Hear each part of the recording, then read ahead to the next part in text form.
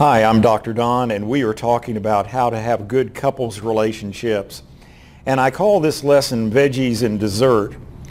When I was growing up, my mother had a rule, and that was when we'd go to the grocery store, she'd put the uh, grocery cart at the end of the canned vegetable aisle, and she would do one can of every kind of vegetable that there was as you went down the vegetable aisle. And then the worst can that she would get every month would be that can of mixed vegetables because they would take every vegetable that nobody wanted, cut them up into little small pieces, and then dump about two pounds of lima beans in with it. And then to make it even worse, they dump all that juice together. And I can remember when it was mixed vegetable night. You could smell it as you got off of the school bus. We knew we were going to have mixed vegetables. Mom was pretty smart though. Every time that we had mixed vegetable night, sitting up on the counter would be a big homemade uh, meringue pie, coconut cream, banana meringue, or whatever.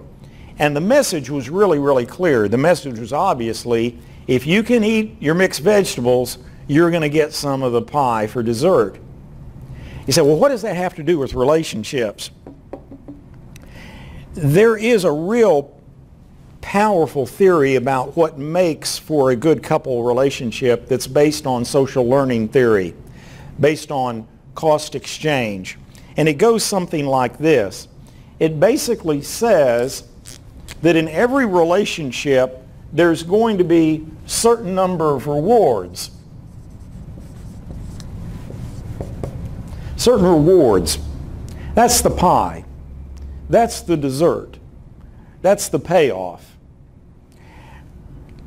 When someone looks at you and says, I want to spend the rest of my life with you, what they are saying is they are saying the rewards of being with you are so profound and so powerful that I cannot imagine anyone else in the world being able to give to me the sorts of things that you are able to give to me.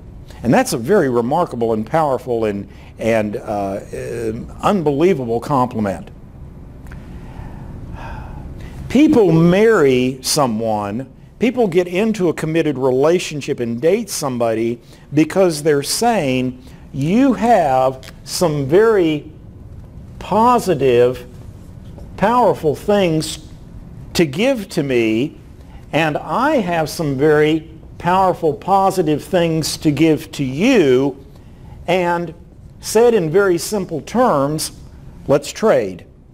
I will bring these things to the table. You bring your things to the table, and let's trade those back and forth. Now, every relationship is going to have a certain number of mixed vegetables.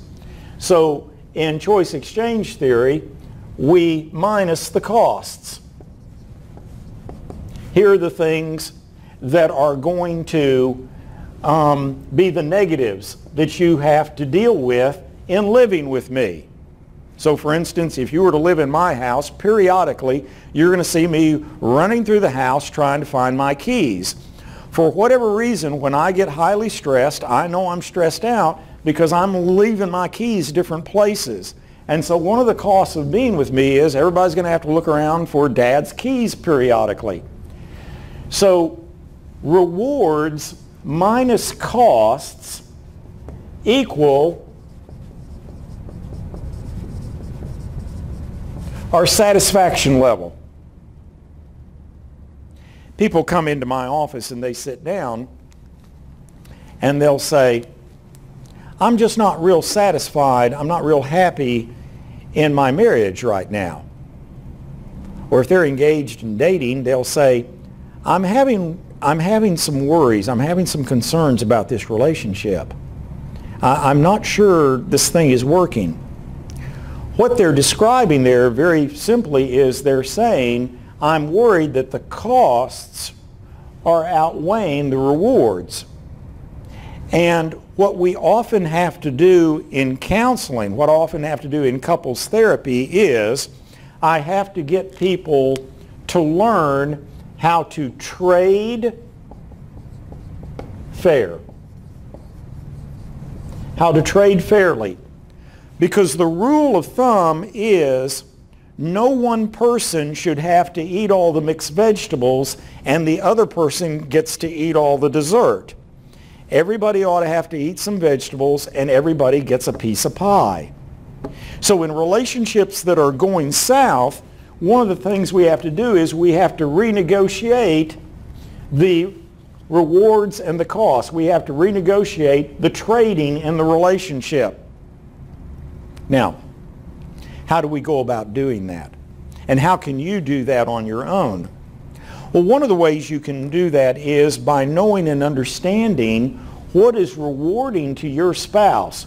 What's the pie? What's the payoff? What do they appreciate? And providing that on a regular basis. The second way you can do that is by minimizing the costs. In other words, what are some of the things that you do that are irritating to your spouse and how can I reduce those a little bit? The more you reduce those, the more you increase the rewards, the payoffs, the dessert that your spouse is having. For instance, if your spouse is constantly saying, you know, I wish we could be on time a little bit more. I wish we weren't running late quite as often. And I'm the one that's constantly causing us late, to be late. It will build the relationship if I'll work a little bit on that. And that will up their appreciation and their likelihood to do a little bit better for me as well. A third thing I'm going to have to do if we're going to trade fairly is I'm going to have to be honest with my partner about what it is that I really want. You know, that's a very vulnerable thing to do because if I lay out there and I say, here are the things that I really, really want, that empowers them to be able to either give that to me or keep that from me.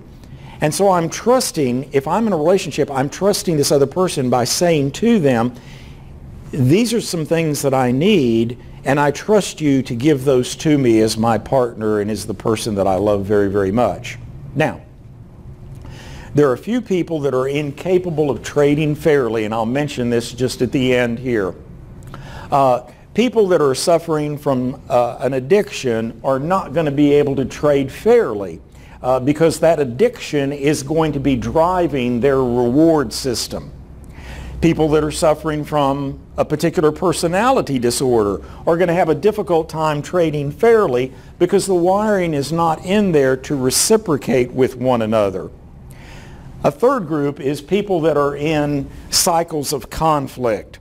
In one of our other videos, we talked about a conflict habituated couple, people that just go from fight to fight. They have to interrupt that fight cycle before they can learn to trade fairly. So what we recommend is we recommend everybody in a relationship be willing to eat their fair share of vegetables, but also make sure everybody's getting a piece of pie as a result.